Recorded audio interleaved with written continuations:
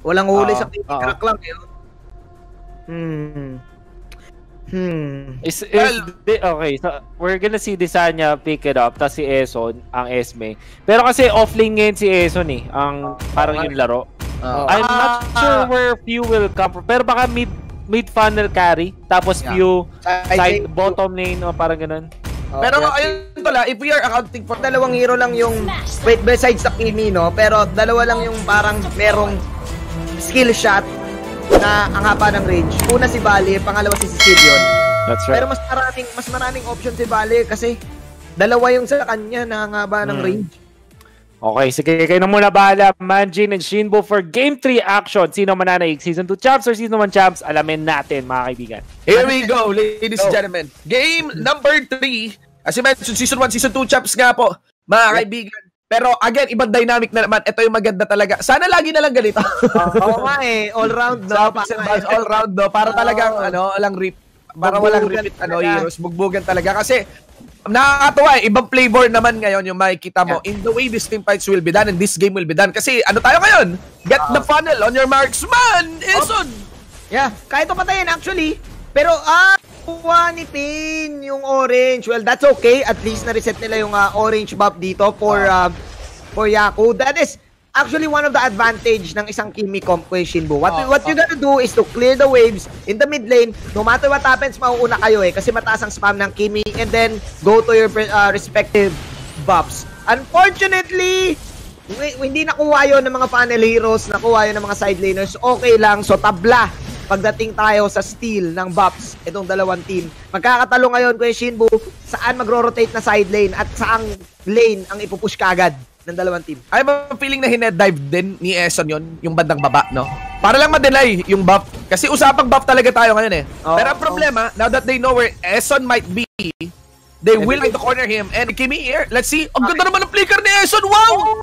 Kaso may movement speed, ayun lang. Of course, on to pain. First blood secured here by our Season 1 champs. Sayang ang ganda sana nung nakaw niya ng shield to dodge the damage of the rocket. Outplay Oo. na sana, but again, nandoon yung Hilda. Ladies and gents, pwedeng ma-push actually ng team ng Season 1 yung baba, pero they, um, pinili nila na wag na dahil nakita na rin nila yung backup na meron ng Season 2. So medyo reset tayo ngayon. Both of the teams maghihintay ng next objectives. Kuya Shinbu, meanwhile, happy lang si Pew sa top lane. Yup.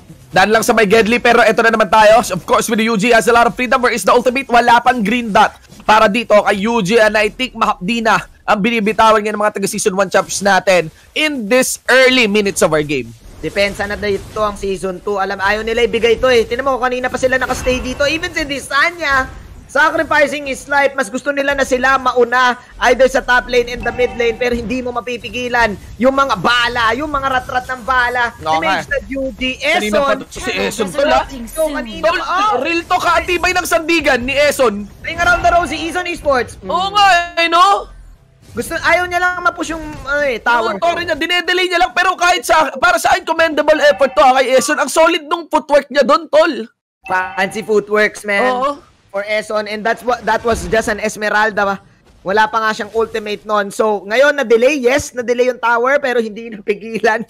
Guys, this is uh, a free uh, turtle na pwedeng kunin ng season champs ay ng season na uh, one champions. Tapos may uh, actually purple pala and red and orange. Pala, sorry. Purple and orange. Tapos pwede pa sila mag-setup ng Lito Wonder and then Turtle.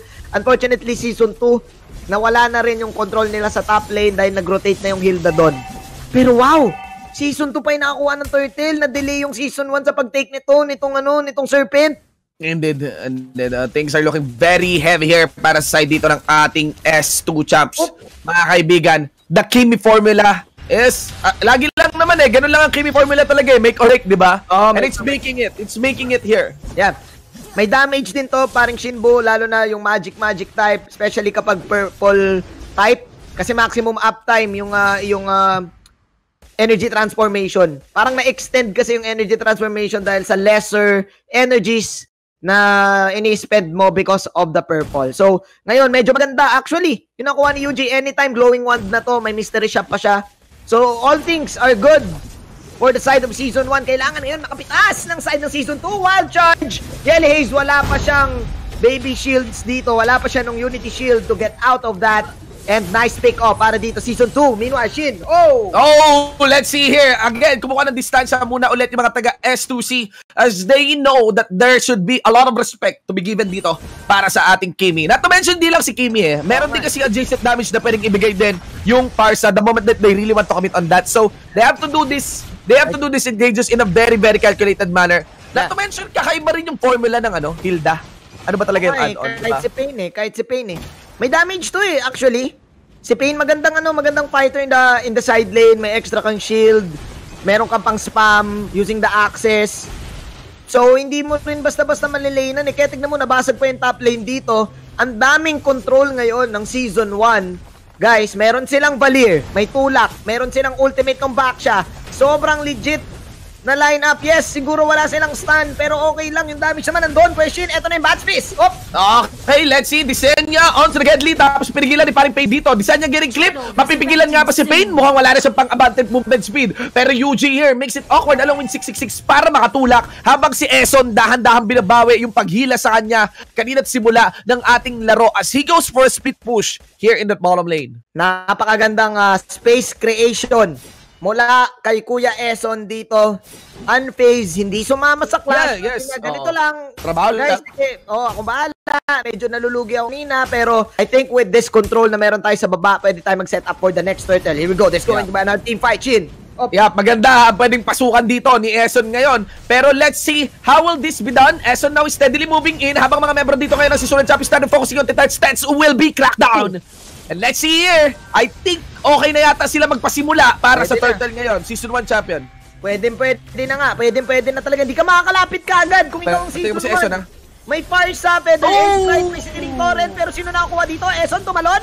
Le- Tumalon hindi lang. Eson. Hindi, hindi, Tumalon hindi niya lang. nakuha. Yap, tumalon lang. Tumalong din. And let's see here. Kumuha at dumain. Ang be going in for 666. They will able they will be able to walk away. Habang si Yaku, he will be the main target here. At nakatakbo pa nga si 666. Yun yung sinasabi natin na hindi basta-basta mahuhuli din ang isang balir. Hindi talaga yung passive mo with the extra anti-crowd control on that passive. Napakaganda, napaka-good G. Kung iisipin mo pare yung lineup ng season 1, yes, wala kayong stun, probably na kay 666 lang yung stun mo na malupit. Eh, well, si Coco may stun, yes. Pero ang yung range nila dito, man, it's all about the range. Let's talk about range para dito sa season 1, di ka makakalapit. Kung carry ka dito, mahirapan ka. Oo, oo, oo. And, uh, Ang Well, daming control eh. Madaming control. Pero again, may late game pa rin naman. Oo. Na kahit yung marksman, eh, na kahit yung mga tags, okay lang na good target para sa carry dito. Yun, yung, yun naman talaga yung purpose ng carry. Walang call din na magmaasim ang isang carry dito. Pero Oo. look at this, the damage, magic damage against Pain. No. Kailangan niya ata talaga nila ng at least Sinusok niya lang oh. Sinusok niya lang. Dito, niya lang. Medyo matagal ha, pero let's see. Doon, ang magiging kapalit niyan yung focus ngayon ng mga taga Season 1 on to Tets. They're gonna be getting that purple buff in exchange for Pain. Delikado na to for your, uh, if, if you're a Kimi. The Tams can fall down uh, to this. Ma- Kayang-kaya outlay ng Kimi yan. Even the carry, pwede mag-reset-reset lang yung Kimi ng energy transformation. Even may phantom step. Yung carry, napakakatinan nito. Kung ikaw ang ah, ang Kimi Yuji, maganda ang kanyang ah, maganda ang kanyang standpoint ngayon. Kuya Shinbu for for team season 1, ang hirap, men. Pat pick off siguro. Pero sino pang huli nila? Yung sanguine ano lang? Yung sanguine cross lang nung ano? Nung Nindisanya? Oo. Yung, yung Sicilian? Wala rin silang stun pala eh, no? Naka Yeah, ah, yun, pero yeah, yeah, yeah. They need to be careful on that eh. Ah, yun din eh. Kaya dapat parang they move as they need to kite, kite back, no? Oo. Kasi yung crowd control eh. Napaka-limited. Yung yung kay Eson, yes, yun yung pwede. At saka malaking setup yun. Yun at- kaya nga napansin ko, kaya rin siguro tinarget si Eson dito. Oo no, nang eh. napakaaga. Ang Oo laking eh. kawalan nung Esmeralda ngayon on the Yeah. element of team fights na pwedeng gawin dito ng Season 2 Champions. Sa totoo lang! 666! 6 Wala kang touch, may wall, nakuha ng damage, pero ayun ulit. So, Eson kumukuha ng pwesto dito sa may pinakalikod, getting the timing kung saan man mag-uuwi si 666. Pero, ayun, um, hindi pa naman totally out yung Season 2 chaps dito, no? Pero they are clearly the ones whose backs is against the wall. Yeah. As Season 1 champion, yung Kimi natin, 4-0-2. Yeah. And, uh, eto, nandito pa rin tayo sa point na pwedeng pwede pa rin tumaba lalo yung Kimi. Level 13, pre. 402. Pag eto nagkaroon ng ah, Holy Crystal, I think it's over. And look at that. The range. I think it's a range game talaga eh. Kung grak ka bago ka lumapit, hindi ka makakapag-set up eh. Yung wild charge mo, I think mas maganda pang, pang ano eh, pang counter go eh. Ang hirap and looking at the items right now, okay, nag nag uh, Ice Queen. One, si Kimi. So, mas lalo kang di makakapit. Kapag tinamaan ka ng mga ano, ng mga skills. Ayun na nga. Inahabol na. Pew. Oh my go God. few. Oh my god. Oh, this are too looking too gloomy for them mga kaibigan. Parsa activating his ultimate pero that's here. Went for the backline. Yuji naman advancing in. Wala nang dash dito si uh, Yuji. Pero ang hirap ng ano, engage. Again, the stun. Meron pa palang hard crowd control kay Disignia. Yeah, yung ano lang, yung yung close, yung pompiang. Pero hindi stun yun eh. Parang ano lang yan eh, parang ang- well, may range na kaya niya abutin. Pero kailangan nila ay ganito, flank mula kay Coco Sanity, dahil yung Coco Threat Inferno, tama dito ang Sanguine Claw, sabay yung uh, close line mula kay Kuya Tets. Pero again, paano mo marireach, Kuya Shin? Paano mo maaabot ang pangarap mo? Oo. Oh, Ang hirap. Hirap. Pero yan, nakuha yung ano, kapag merong misposition dito si Paring Payne, baka dun magsimula kung gaano nagbuhat si Payne mula dun sa previous game natin. That might be an opposite story for this one. And Oo. again, we are steadily moving towards the later minutes of our game. 11 minutes na by 15 minute mark. Didiin na yung damage niya ako dito kahit kanino. Yeah, pwede na, pwede na. Pero ang tanong, makakaland ba siya ng damage? Oh! Eh, no, kasi nakaharang yung feathered airstrike. Tapos Oh, pinagtitilang ganda dapat na! mana. Pero mas maganda to, yung pasok dito ni Matthew. Ayun na, kinagat. Pero natulak. Naku, the series eto pa rin. Yeah, the searing torrent. Down, pero nasiring torrent siya dito. Masusunog ba? Masusunog ba? Buhay! Natuluyan mga kaibigan. And uh, well, ayun, ang buhay ay si ano, ang buhay actually is yes, yung ating tabs, ladies and gents. Pero that is a good catch onto UG kasi yun yung first that ni UG tol eh. So eto na, eto na ba? Comeback na naman, Signal Ultra comeback story, di ba?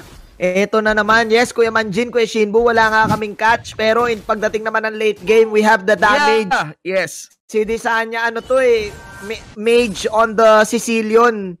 You never really doubt the damage on that hero pagdating sa late game. Parang nagkaroon tayo ng Aldous na long range. Nga. Um, 7-9 guys on the scoreline.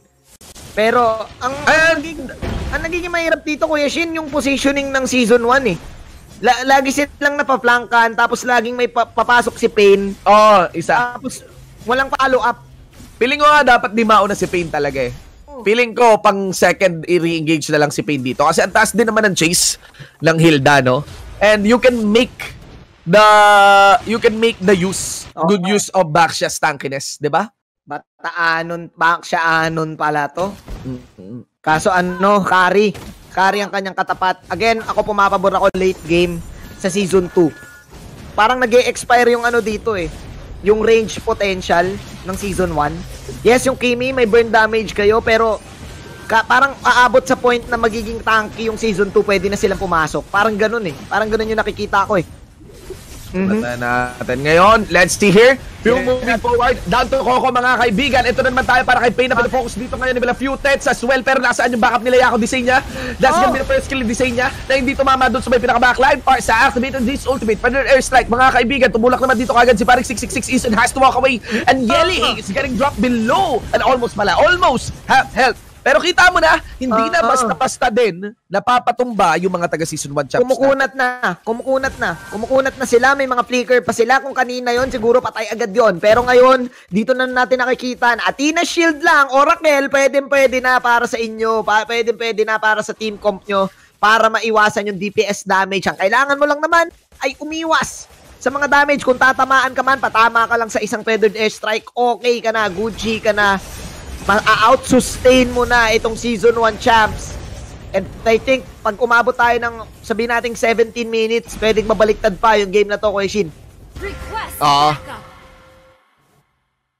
Wala, ah, ah, ano eh, pwede, pwede talaga. Ah, again, carry pa rin naman to. Oo nga eh. Pero ito lang din ha, Parsa to, yung wave clear naman. Oo. Is superior on that part. Yeah. And ewan ko kung diskarte kayo ni Payne, pero he's moving actually to go for split. And Ison is fully online but getting the will there by Pain. I think Ison has to walk out. Aha. Bumabay mo ni Ison dito pero ibang kakas natin. Pew will be the main target here. Kini mo may rocket. Nasaan? Ayun!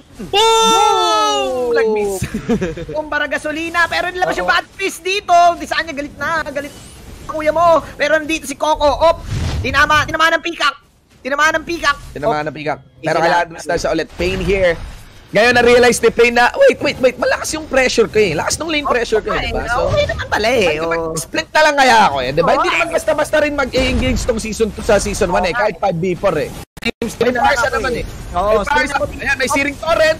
Siring Torrent is ako. Yung Magma Lord pa, yung natusta. Pero tingnan natin, merong Yahoo na tinalunan na. At andito naman ang ating Hilda. Isang palakol sa mukha. And that would be it. Force the flicker out of the side niya. Lapit dito si Coco naman. May stun na ginawa. It will be Ison. Yung pinabehind siya, yung natira. Tingnan natin kung meron pang magagawa. It will be the ultimate that will be casted pabalik para makatakas ulit dito sa Season 1 champs natin. Ayun naman pala yung kailangan, Kuya Shinbu. The searing torrent to the firewall in the face of Yak, ay, ay, of, of Few as the Tamps. Masyado siyang nagstay, masyado silang nag, masyado nilang pinasok yung mga hindi dapat pasukin. Again, dilemma nila yun kanina na hindi sila kagad makakapasok. And nagkaroon sila ng ano, I think nagkaroon ng miscom yung season 2 eh. Parang Ah. it's either magka-clash ba tayo o maglo-lord. It's a good thing na nakuha nila yung lord, pero it doesn't matter guys. Ayun, Oh, oh. Pero ayun, sunog din. Sunog din yung buhay niya. Lo is so heavy here. We got Pain again. Alam, makikita mo si Pain, no? yung durability niya dito sa may bottom lane. Kakaiba na ngayon yung configuration dito ng ah, Season 1 champs natin. They've decided na mag 4-1 Oo. for the duration of this fight. Manjin, eto, greatest games ulit yata tayo. Ito na naman eh. Kasi hindi ko rin makita kung paano mag end to. Hinahanda ko na yung greatest. The great, actually, sa tingin ko, ito ha, kailangan lang umiwas ng season 2 sa pag, pag nag-all-in sila, wala silang napatay. Kasi yung cooldowns dito ng season 1, gana eh. Masakit yung DPS nila eh. Masakit yung Baksha Ultimate, hindi mo yan napapansin. Yung Kimi, meron siyang mini Baksha Ultimate with the second skill. So the more na naghahabol ka, the more kang nalalason. And lagi mong tatandaan ko, eh, Shin, pangarap lang ang hinahabol, hindi tao. So, kapag naghabol ng season 2, baka madali sila. Op. Oh, bumubuhin here. Okay, that's moving forward. They've decided na split ka pala Pain na dinala namin si Yako dito para sumali. Pero ang daming tinamaan ng ultimation dito ng ating Farsa. Fully connected on the Ison. Ako, it's a disaster. Para sa mga membro dito ng Season 2 Champs. Yako yung getting cornered by tatlo. At habol pa rin ng todo. Para intense naman, no wild charge will be available. There goes Pew. Went for the Kasam Lip. He will be cornered. There goes for the stun flicker out. Pero kulang pa rin and that's it. Desenia is late for the party. And it might be a big push for an inhibitor para dito sa mga membro ng Season 1. Kakasabi lang natin, Kuya Shinbo, pangarap lang ang inahabol at hindi tao. Pwede ring utang. Nakakahabol nila. Yan na, they paid the price. And ang nangyari dito, sila pa napitas. What was that? Instant damage output, instant burst, searing torrent, feathered airstrike, basta magic magic. Yun yung dumali dito sa Season 2 Champions. All, oh my glove. The reason why, wala, hindi nila mauli si Kuya, ano eh, Kuya Pain eh. Hindi nila na, na-burst agad. Yeah. Grabe. And uh, buti na lang hindi inhibitor push to, no? Ah, ang Oo. nangyari dito. So kahit pa para may reset doon. That was a good catch in my opinion para kay Pain. Pero talagang ano lang din eh. ah they, they took their time. Just by, maybe one second lang eh, no? Oo Na nga eh, one second Siguro eh. one second lang. Kasi kung nakapag-mamba out sila talaga doon, parang pwede na eh, di ba? Gana na eh, kagad oo eh. Oo. At regroup, mamba out, regroup tapos re-engage. Pwede yung ganong sitwasyon. Nabuhay pa. Eto na naman ha. Medyo ano to ha. Narrow vicinity to ha. There comes a feather airstrike. Nilabas na ng pick dito. The fireball. Sinatang kila Ate Ted. Sumabas ang serpent. Nag-sanguine cause. Mahuli si paring Pain. Pero medyo makunat yan. Eson. Pumapumpik. Ngayon na lang muna ha, yellow. Oo. Oo. Ang laki din na, ano, ang laki rin kasi talaga ng pampil nila with the available ultimate dito para kay Desenia, not to mention that, uh, that clause, no, mula doon sa, sa crowd control ni uh, Desenia din, no, ni Sicilian natin. Pero eto na, another headline. We have an empowered Lord, Shining Lord, ladies and gentlemen. Luminous. Be available here para dito. Luminous, Luminous Lord para dito sa side ng Season 1. Medyo matagal ang pagkuha parang kailangan kasi si UG sa laban, hindi pwedeng mawala si UG sa laban. Yan ang sigurado. So even this Lord will be awkward pero gumera na. Tayo na naman na napokusan. Pero again, buwelo-buwelo ulit eh, paring Coco sa kanyang far side. It's gonna be the Slayer by Yaku. Yaku no destroy dito. Tumalon si Ison. Medyo nahuli sa laban. And take note na wala din dyan ay si Few na nakatamos dumadaan dito sa may pinakagitna. That leaves four members of Season 1 to be alive. Ah, habulin ngayon ni Desenia. oh my God, napachat na si Pain. Habulin ngayon ni Desenia sila Few. And this is round 2 once again. Nung naging sitwasyon doon kay Few kanina, feeling ko sabi ni Pain dito, pag ako yung pinokus nyo, ba't ako madadali talaga kayo? Madadali talaga kayo. And why, why me? Not like this. Not like this, ladies and gentlemen. 18 seconds para dito sa death timer ni Pain and mukhang nagkakabilihan na ng Malefic Roar. Ang Season 2, walang may arrival dito at meron ding minions. Season 1 2 seconds kay Tets! pala. 2 seconds kay Tets! Yun ang gusto ko pala sabihin. 2 seconds kay Tets pero mukhang tatapusin na. The game will go to the Season 1 champions. Talaga nung ano, hassle talaga ng Valier. I think kung harapan ng bakbakan talaga, it will be very difficult for the Season 2 champions to really get the win or get the clap Oh, against the oh. Season 1 champs. And I think, I would, kahit bronze, si Ison dito, siya yung lowest performing player. I would commend him, Tol. I think he's doing the right element to actually win that one and get